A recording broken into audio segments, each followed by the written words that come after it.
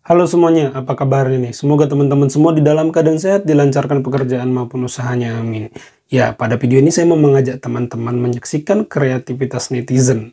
Mundurwir, ya, melalui mundurwir dan kalimat-kalimat ini, netizen menyindir Gibran dan Prabowo yang konon diasosiasikan minim gagasan dan lebih senang berjoget. Nah, bagaimana videonya? Ini asik nih. Yuk kita simak bareng-bareng. Mundur Wir, cawapres gue bagi-bagi ilmu bukan susu. Mundur Wir, calon presiden gue sudah pernah menjabat 10 tahun jadi gubernur. Mundur Wir, gue suka strawberry bukan belimbing sayur. Mundur Wir, dia minumnya asam sulfat bukan asam folat. Mundur Wir, cawapres gue berani datang debat.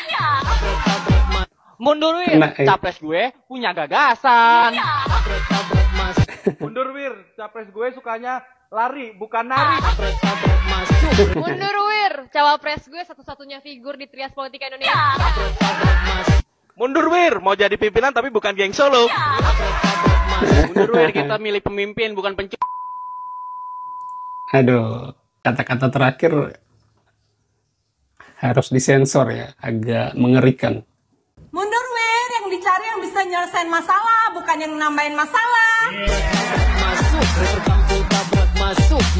Mundur Wir, yang dicari yang cukup umur, bukan belimbing sayur. yang dicari yang taat regulasi bukan pelanggar konstitusi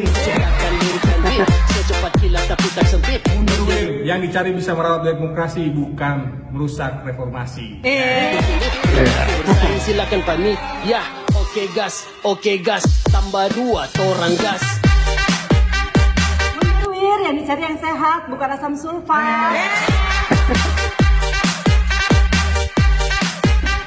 Mundur Wir. Yang dicari Yang yang saset bukan yang cuma bisa joget-joget. tambah dua torang gas.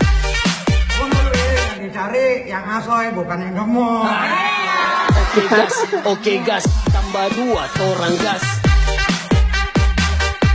Asik, asik banget ya teman-teman sindiran-sindiran netizen yang sangat kreatif. Saya suka nih, asik gitu ya. Jadi mengkritik dengan cara yang eh, menyenangkan. Ini baru politik santun, ini baru politik yang menyenangkan, bukan seperti yang ditawarkan Kaisang ngaku politik santun, politik happy, tetapi ada yang namanya eh, kontroversi putusan Mahkamah Konstitusi yang membuat banyak orang meradang, terutama orang-orang yang berjuang untuk memperjuangkan reformasi, gitu ya, itu meradang. Jadi tidak benar konsep yang ditawarkan Kaisang ini baru politik menyenangkan, mengkritik, mengatakan fakta dan mengatakan kebenaran.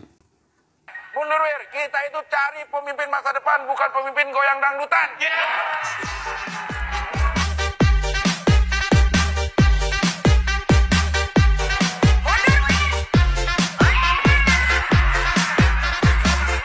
Belum, belum. Mundur wir, kita cari yang sehat, bukan asam sulfat. Wah, ini kocak lucu ya. Ini saya seneng nih. Kreativitas netizen seperti ini sangat asik ya. Sangat asik. Keren, keren, keren. Pendukung Ganjar gitu ya, memang keren-keren. dari Aliansi BEM se-Jawa Tengah berunjuk rasa di depan kantor Balai Kota Solo. Para mahasiswa mengajak debat Gibran. Dalam aksinya mereka menyoroti politik dinasti Mahkamah Konstitusi hingga lolosnya Gibran menjadi cawapres.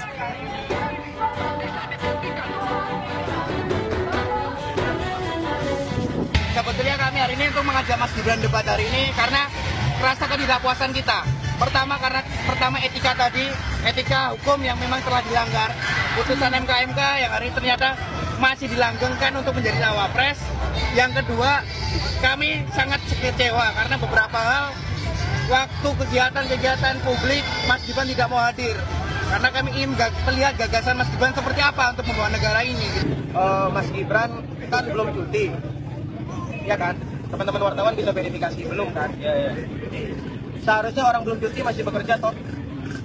Harusnya kalau kami datang ke kantornya di balai kota dia masih bekerja toh. Masa dia tidak melihat ada demonstrasi di sini? Dan kalau tidak ada itikat baik untuk keluar artinya tidak ada itikat baik untuk berdialog dengan mahasiswa yang hari ini mengkritisi banyak hal dari pencalonan beliau dan juga kebijakan-kebijakan peraturan-peraturan yang diterbitkan oleh beliau. Makanya masyarakat bisa menilai apakah demokratis pemimpin. Silakan. Ya, padahal waktu itu ya ada yang demo ibu-ibu, bapak-bapak yang polos-polos, yang sudah tua. Gibran tuh berani turun karena dia tahu, Gibran tahu itu orang-orang yang polos, yang tidak pandai berargumentasi gitu ya, orang-orang tua. Nah, tapi di hadapan orang-orang yang akademik, kritis, terpelajar seperti anak-anak muda ini, Gibran tidak pernah berani menghadapinya. Yaitu faktanya ya, kita tidak e, mengarang bebas. Itu faktanya. Bisa dilihat, bisa dicerna, bisa dinilai e, dari media sosial, dari pemberitaan, dari mana-mana lah, dari segala jenis sumber informasi yang bisa kita baca atau kita lihat. Banyak ya, dan salah satu poin paling penting yang ingin kita soroti kan soal bagaimana demokrasi hari ini dikikis habis. Tentang bagaimana konstitusi hari ini keropos singkat tolak-tolak ya. Bagaimana difungsi ABRI dan dan Polri hari ini terjadi. Bagaimana pencemaran lingkungan di daerah Solo dan sekitarnya masih jadi masalah yang betul-betul memprihatinkan. Dan sumbernya adalah karena kebijakan politik yang tidak demokratis partisipatif. Hari ini pun kita mengkritisi banyak hal dan itu semua bermuara dari adanya kebijakan politik, adanya peraturan politik yang tidak kemudian merepresentasikan kebijakan yang demokratis. Demokrasinya hari ini betul-betul dikikis habis. Saya punya pendapat bahwa yang paling penting untuk dijalankan di dalam Republik Indonesia itu ada demokrasi, gagasan, dan juga etika. Jika kita hidup tanpa gagasan, demokrasinya hanya formalistik. Jika kita hidup tanpa demokrasi, gagasan, dan etika tidak akan mendapat tempat di dalam kekuasaan. Tapi jika kita hidup tanpa etika, demokrasi dan gagasan tidak akan menjadi apa-apa dan tidak akan berguna. Makanya ketika ada perkataan-perkataan yang membunuh habis demokrasi, mengikis habis konstitusi, tidak semua etik. Bagi kami itu adalah kata-kata yang luar biasa mencemari proses demokrasi, luar biasa membunuh habis konstitusi. Karena seakan-akan mengenyampingkan proses-proses minim etika yang selama ini hadir di Mahkamah Konstitusi untuk memuluskan pencalonan. Hari ini kita tidak kontra pada salah satu paslon, tidak. Kita kontra pada pelemahan konstitusi. Kita kontra pada pelemahan demokrasi. Dan apakah kami suzon pada hakim MK dan juga paslon itu? Tidak. Sudah ada putusan MK-MK, Majelis Kehormatan MK yang memutuskan bahwa memang hakim MK semuanya cacat etik. Sudah ada putusan 140 di Mahkamah Konstitusi yang membuat keputusan bahwa putusan 90 kemarin cacat secara legal standing. Jadi kami ketika menyampaikan itu adalah proses yang etika, itu adalah proses yang betul-betul sudah diverifikasi oleh MK sendiri. Dan jika kita kemudian mengenyampingkan etika untuk kemudian semata-mata mendapatkan kekuasaan, kita akan mendapatkan negara dan penguasa yang minim etika dalam memperlakukan warganya lima tahun ke depan. Ya, mahasiswa di sini belum move on ya pada putusan MK kemarin, tapi rasa-rasanya sih tidak akan pernah move on dan terbayarkan ya eh, putusan MK itu dengan cara apa pun kecuali Gibran mundur tapi rasanya Gibran dan Kaisang ini adalah orang-orang yang saya rasa tidak relate dengan semangat reformasi. Contohnya Kaisang waktu itu ditanya tentang kondisi 98. Oh, saya tidak tahu. Dia malah lempar balik ke wartawan. Padahal untuk tahu bisa belajar sejarah. Tidak mesti kita hidup di zaman itu. Dan dia kenapa menganggap remeh hal-hal sakral seperti konstitusi. Itu kan hal sakral yang diremehkan. Ya karena mereka tidak relate, tidak punya beban tidak menjiwai e, bapaknya bisa menjadi presiden karena hasil demokrasi, hasil reformasi. Tanpa itu semua saya rasa Pak Jokowi hari ini mustahil menjadi presiden karena dia bukan elit. Dia orang biasa, tapi karena demokrasi kita sehat, dia bisa jadi presiden.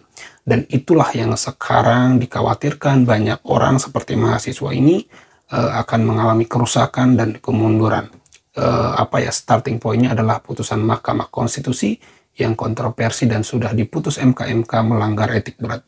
Ya itu aja teman-teman video kali ini. Terima kasih buat teman-teman yang sudah menyimak sampai selesai. Sampai jumpa di video saya selanjutnya.